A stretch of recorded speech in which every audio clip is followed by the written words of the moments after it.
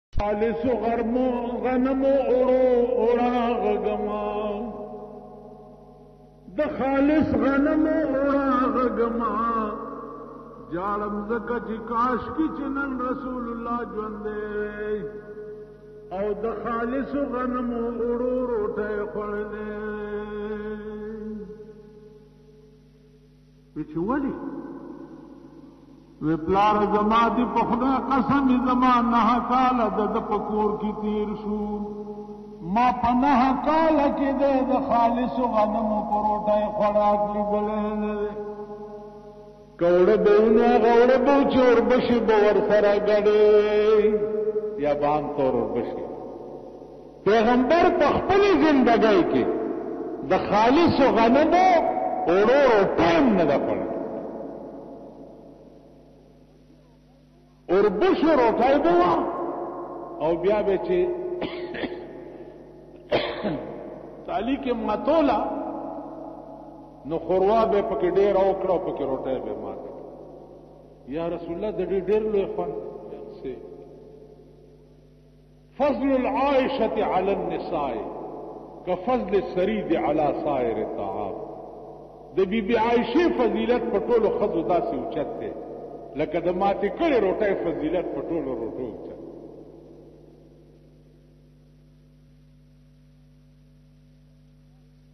زه تاسو ته ایمان نه وایم درې کاله وشو زما جوړ شوی او درې کاله وشو چې زه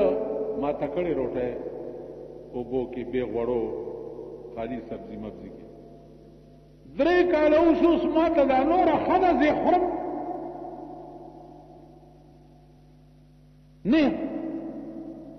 کم خوند والله العظیم درته وایم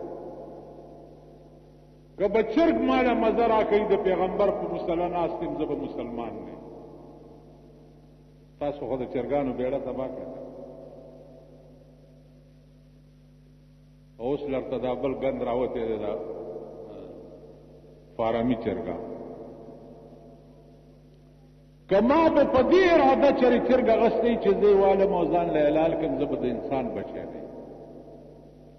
که زما به نری غوښه خوښئ او په کلونو به زه خورم زه به مسلمان دی منئ ده راشي زما کوڅه کې تپوس وکړئ کساب سیر غوښه یو څو دوه درې ورځې یې کوو او دولس دیارلس کسه یو د کوره خوراکیا تاسو چې دغه لکینې داسې زمونږ یو مولانا دی هغه چې چرګ لکینې داسې په دوړ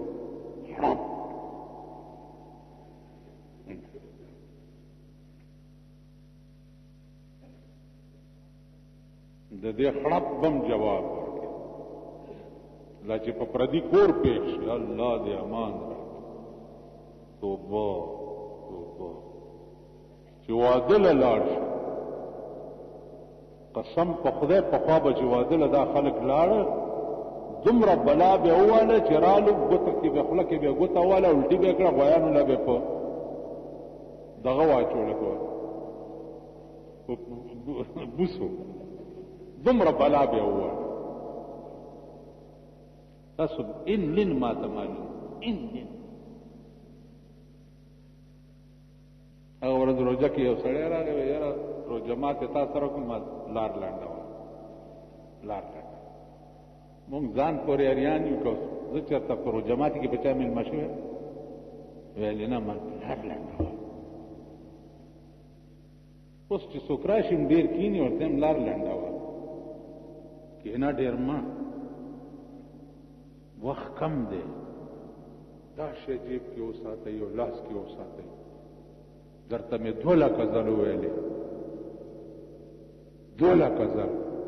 چې یو ځل الله ویل د دواړو جهانو نه بهتر یو ځل فضول وخت مه تېروئ جواب به نشي ورکول جواب به نشي بعضې سړی په لاره په مخه درشي لاس نه به دې ونیسي او ګوته به دې دا ښایي داسې دلته یو دی ما له چې لاس راکړي دومره زور راکړي چې څومره ساعت زما لاس خوږېږي بیا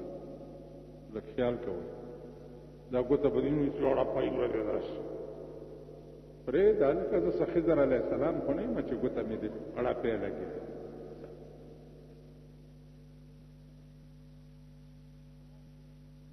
کم کار دی هغه مونږ نه چې کم کار دی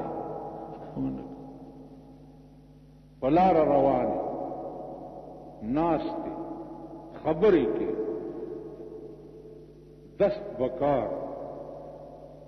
خله بکار و دل بیار که لاس دې په څه کار کې مشغول وي خیر دی، که سترګې دې په څه کار کې مشغول وي خیر دی، که خوله او ژبه دې په څه کار کې مشغوله وي خیر دی، خو چړه د الله د یاد نه سیوا په بل شي کې مشغول نه وي. زما په دې خبره پوه شئ دا د جمعه الوداع ورځ ده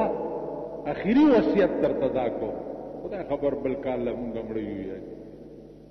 پته نه لګي او اخیری خبره درته دا کوم چې نه لاس بل چاله ورکا سترګې ورکا خوله ورکا لیکن چېړه ګوره د الله نه سیوا بل چاله ورکا ولې د الله نه سیوا بل چاله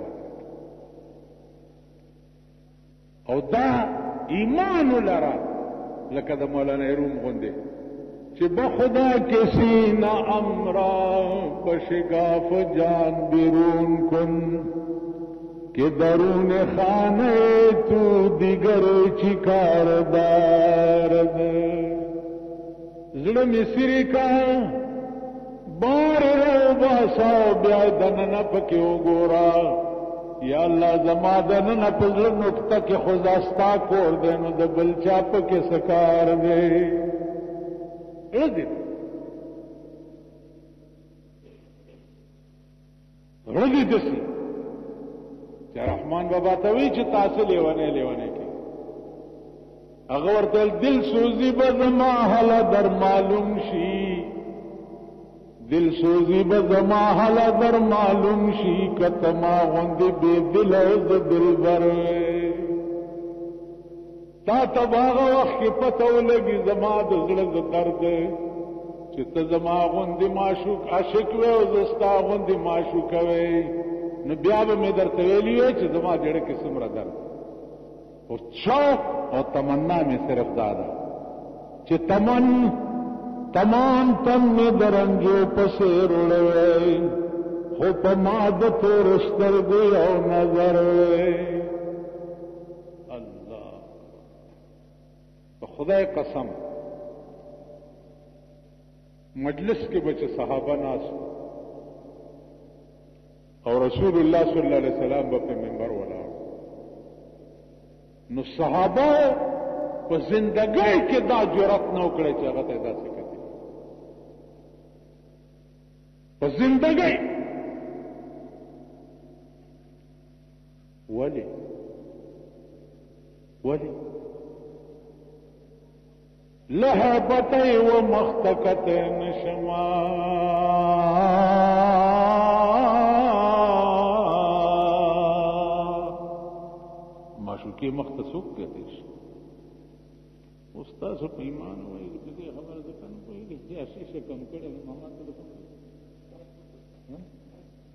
سره که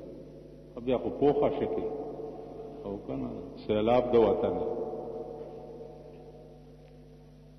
لهبت یو مخت کته نشما خدای را پی خجدای کړه په وصلت کې ور سره ناشته موقع ته ورته د رسول الله حلیه مبارک د صحابه او نه کبار صحابه او نه ذکر چهره څنګه و شونډې څنګه وي غاښونه څنګه صحابه مونږ ته څه مونږ چیرې ورته کتلې دي مونږ کته نه ورکو ورکو الکان صحابه او نه دا حلیه مبارک ذکر ده د کبار صحابه او نه ذکر دا رحمان بابا چې وی رښتیا وی چې له بته یو مخته کته نشما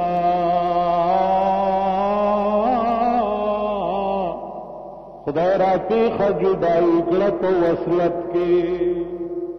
ور سره ناس ته موقع ته نشو خوان دغه مزه دغه درد دغه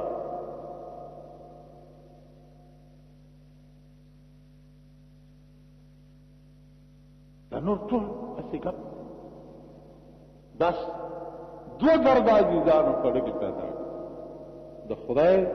او د جناب محمد ټوله زندگی هم په سکون کې د تمام آفات او بلیات نه به خدای محفوظ ساتي چې زړه دې د خدای او د رسول کور زمونږ زړه د شیطان کور د شرارت کور نو الله پاک دې د خپل حبیب په خاطر زمونږ له د خدای کور او زمونږ رابطه او تعلق دې خدای خپل ځان سره جوړ کړي او خپل حبیب سره دې جوړ کړي خدای د دې پاکې ورځې په خاطر د ملک کې دین راوړي خدای د دې ملک د کل غریبانو په حال باندې رحم خدای چې دا کم خلک په ګناه کې یا الله د غربت د وجه اخته دي خدای دینه غربت لري کو دې ګناه نه بچ کړي ته پرې خپل فضل او رحم او کرم وکړه. یو دوه پوښتنې ما نه چا کړې وي، یو دا تراویح اته دي او که لس شل دي؟ ماما داس چل دی چې ګړن کې به د مليانو نه پریږدي تراویم شل دي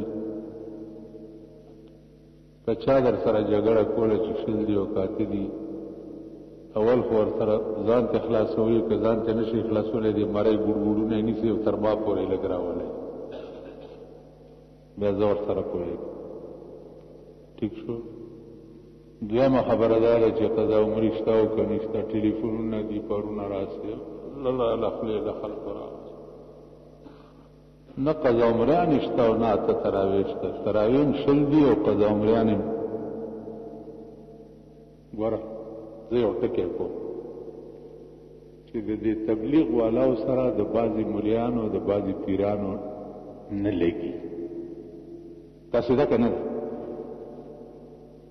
پرون مې یو سپین ږیری شین پټکی والی په دې لاره تېرېږي ما ته وی چې دوی ته ریونډیان وی ریونډیان دا پیران ورته ریونډیان وی که نه واورئ دې وخت کې په ټول پاکستان څومره ډلې چې دي ننانوې فیصد فراډ او دوکه درو یو ډله د تبلیغ ده په خدای قسم چې دی د سور له سوکالو تاریخ ژوندې کړي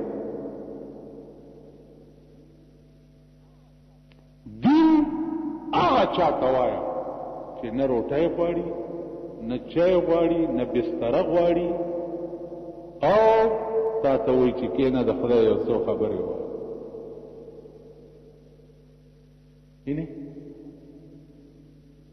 د صحابه عادت څو په لار به چې روان څوک به چې ولید د مونږ چې په مین یو ادا ده تاسو ورته لګو ګور اوس چا به چې د پیغمبر چهره ته وکړي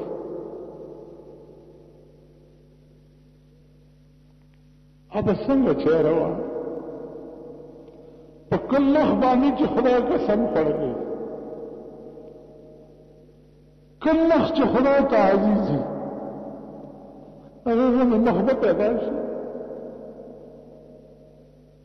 هغه غو نشان به پیدا شي په غزوه خندق کې کافر رااله صحابه ته یې چې نن درې ورځې د چې تاسو ته روټه نه ده ملو او لګي مورچې کنه دا چا د پاره کوي ویل چاله چې کنه دا دی ولار دی هغه چې ورته وګ ته ورمن به کړو په خپل ورته کړو ول په دغه نن نه په دغه تاسو خیر راغی عزیزانو عرض مې دا و چې دی وخت کې د فتنو دور دی چې یو سړی ووټ نه غواړي لیډري نه غواړي ممبري نه غواړي ستا جومات له راشي په ګوټ کې بستره کېږدي او تا ته وایي چې کېنه د خدای او د رسول یو څو خبرې کوو او دی پسې بد وایي دا خلک دې په خپل ایمان وژرېږي دا به تباه شي دا به غرق شي تاسو خیال را نو دې وخت کې یو ډله ده د دې مشر مولانا الیاسو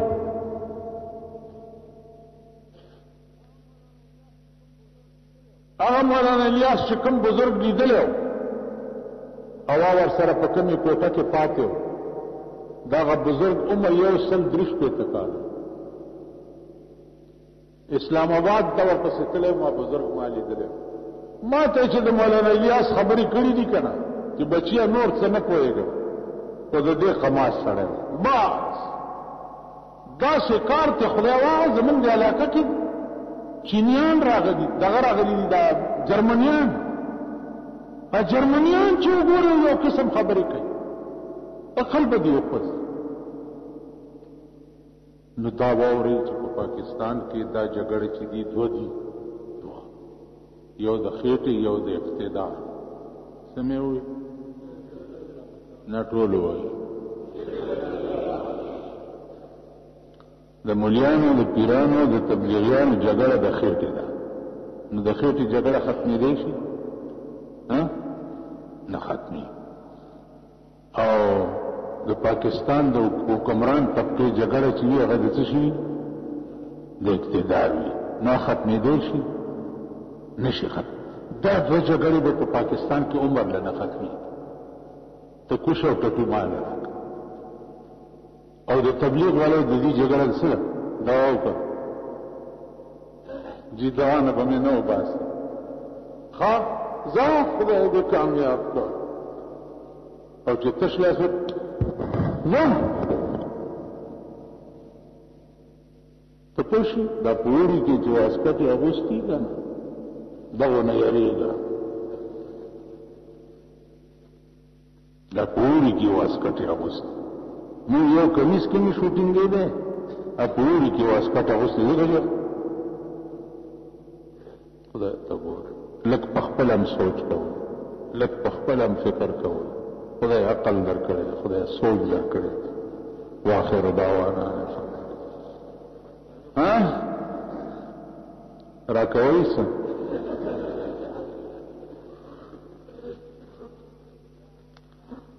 سرسرا عزیزانو شپاړس روپۍ ٹھیک ده شپاړس روپۍ سرسایه ده د یو سیر پنځه نیمو چټاکو غنمو حساب په برک دغه سره سوله روپۍ ګوري کورم کې شګم بده نه ده او جوړیږي شپاړس روپۍ چا سره چې پیسې مونږ ځان له خواري نو په ملنګ باندې کلنګ او تاوان نشته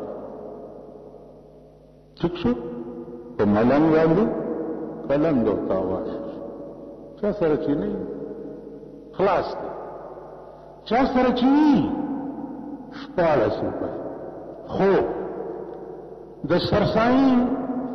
فلسفه دا ده چې د اختر ورځ ده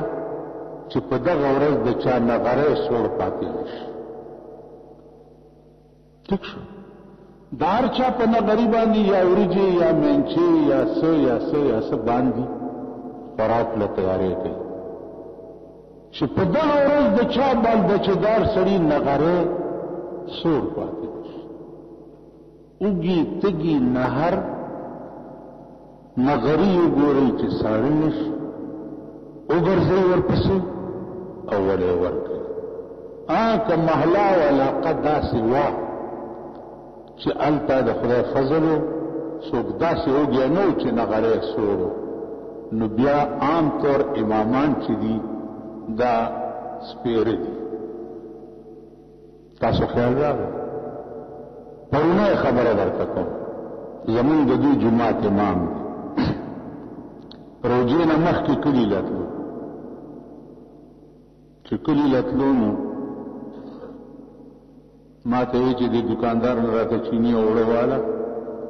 او چراشم بیا روجه کې پیسې ورک مالواله یو ډبه غوړي چینی چای ورته واغسته کلی ته لاړو نو پرون راغی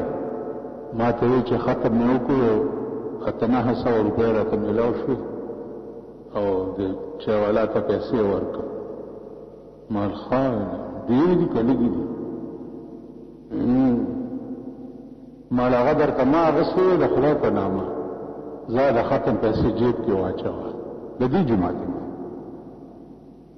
جماعت خبره کوي ناس به دې کوټه کې ګراوي بس درته نه نه عام طور امامان چې دي هغه غریبانی بل بچداري نو چې مال خوا واسو د حالو نو بیا امامانو لور ټیک شو او کاغه نه زیات شو نو بیا ما په سر راوړي بجای د دې چې زه د ورځې ناشته مو پردي بد وایم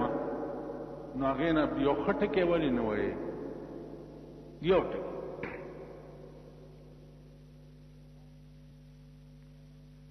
چې هغه الله الله الله الله مولانا اشرف علي تنویر رحمت الله علیه په دلی کې تقریر کولو او درې قسم یې وکړ چې والله بالله ثم الله مجھے خدا لا یزال کی قسم ایک بار الله کهنا دونو جهان کی نعمتو سه بهتر یو ځل الله وی او بیا یو واقع لیکلی چې یو بزرګ و حسن بصری او د دې بزرګانو واقعیت مولانا تانی ډېر لیکلي دي نو بزرګه د شپې ناشته ده نو الله الله کوي ناګانه په دې نیمه شپه کې په دغه کې راغلي ده په جذبه کې چې یا الله زما اړو چاو دو په الله الله ویلو باندې تا یو ورځ مونږ وی چې زما بندي زدایم یو ورځ خو ته مو وایه که خدای ته وایي اوس خدای د هغې د جذباتو څومره خیال ساتي اندازه کوی اواز ورته وشو چې څه وایې وی یا الله زما رشین شو په الله الله ویلو باندې او تا یو ورځ مونږ چې زما بندې زده یم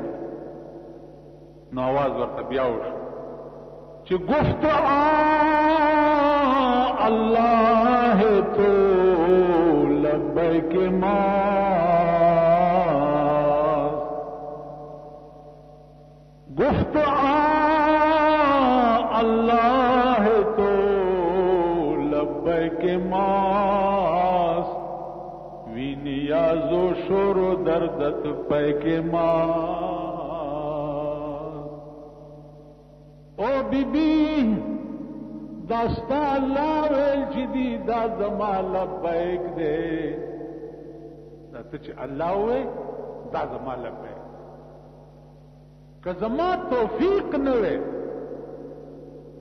زما توفیق نه وي نو ستا جبې به په نیمه شپه کې الله ویلې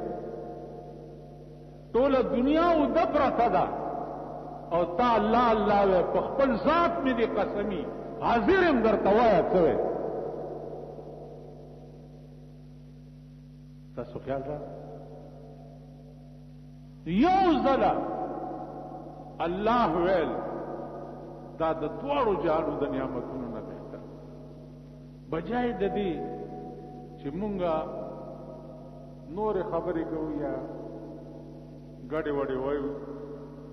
نو بس جبا په دې عادت کې چې الله ما تاسو تیر جمعه ویلي چې د موسی عليه السلام ګډ بچو وې دونه چې خدای څنګه یادول پکار دی او یا الله ته بچرته چې چاپی دې کم یا الله ته بچرته موسی ته تنبیه وشو چې دا ورته مو آیا چې کافر شوي دا ورته وای چې خدای داسې ذات ته داسې یادول غواړي نو زما عزیزانو په ایمان درته وایم چې دا ملک د هلاکت او د تباہی په پلیټ فارم ولاړ دی د وخت کې لیډرشپ په خبر ګستر ګوډان دي سچ وایي ټول دروغ وایي که د اسلام نوم علي دروغ وي که د کچکول په ماتوم دروغ وي ملک سوارو ټټو پیو وټارو پلانټرو ټټو اوس وای دوه کال راکې نو دوه کال کې په ملک ټکی دا ټول درو ملک بالکل د هلاکت په پلیټ فارم ولاړ دی اوس کوي به څه کوي به دا چې سیلاب په وطن راشي نو د کلی خیر غواړه چې په کلی راشي د کور خیر غواړه او چې په کور راشي نو د ځان خیر غواړه چې د هر سړي سیلاب د بې دینۍ په کور اوبه په کور ورننوتې هر سړی سره خپل غمی کنه چې ځان می بچ کړي نن د بی دینه سیلاب د هر سړی په کور نه نوته په کور که خزر اټینګه لور دی منډي وای که لور را ټینګه زوی دی منډی وای که زوی را ټینګه خور دی منډی وای که خور را ټینګه رور دی منډی وای څه د خدای په عظیم قهر د عمل گرفتار علاج د دې دی وخت مشکل دی او وای د خدای په لوی کرم به کیږي په عقل ګرانه د زما د آشنا مینه که د خدای فضل وشو خو ډېره ښه ده که په عقل وي نو پاکستان سیټ کېدل زما د عقل نه بار دي ځکه چې دې خلکو کې اخلاص نشته دې خلکو کې د ملک او د قوم درد نشته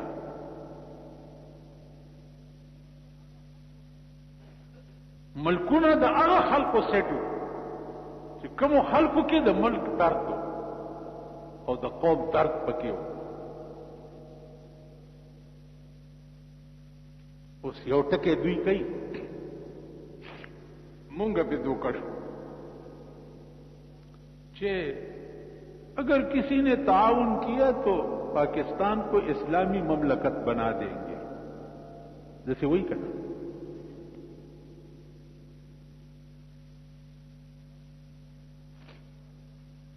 اسلامی مملکت خو 50 کال وشو چې تاسو پاکستان ته وایي وای ورته کنه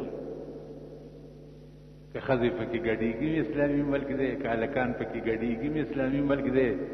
که بلو پرنټونه پکې چلېږي هم اسلامي ملک دی، که د ښځو کرکټ مېچ پکې شروع شي هم اسلامي ملک دی. دا خو پنځوس کاله وشو چې تاسو اسلام اسلام ورته وایئ. دروغ ولې وي؟ ولې دروغ وي؟ اسلامي مملکت به په هغه ورځ پاکستاني چې په کومه ورځ د انګريز جوړ کړی قانون لندن ته رسخت شي او په پاکستان فیصله د قران کی الګ پاکستان اسلامي مملکت دی اوس پاکستان اسلامي مملکت دی سو پورې د پاکستان فیصله په قران نه شروع شوه ترغه پورې پاکستان ته اسلامي مملکت نه وي قانون پکې د لاډ نکاله دی او وې ورته په اسلامي مملکت بیا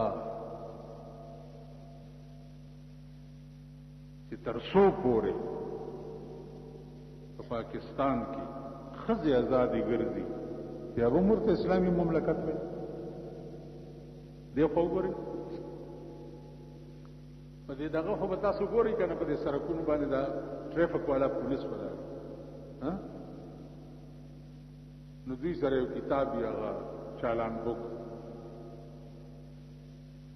سوزکه پې راشي ډاټسن پې راشي یا بل شی نو داسې مخې ته ورته ودرېږي هغه ولدار صاحب داسې داسې ا ډرایور تم ګوري دا قانون د لاس کې واغست ا ډرایور غریب ناړه بوټو چې قانون مې لاس کې واغست چې سچل مې کړي دی ورته داسي قانون د لاس کې واغست نه ګوري نه د قانون خلاف پر هغه وی چې سبه ودار سبه فرق نه چرته کې د سینې کې نړۍ غوندې سترګه ورته وایي چې رو جماعتي بندوبست کوه بیړه دې غرقه شي ته پوه شوې نو تاسو وایي دی خو وګوره ایف آی آر د انګريز جوړ کړی قانون دی ستا په تاڼو کې چې پروت دی ستا په عدالتونو کې چې پروت دی د انګريز جوړ کړی قانون دی ٹھیک شو نن کنټمپټ اف کورټ د فی چې ستا په ملک لګېدلې وي کنټمپټ اف کورټ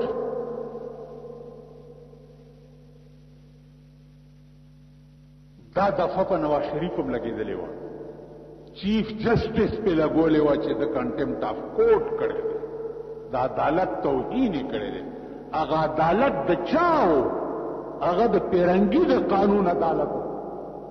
و که نه و که بل شي د پیرنګي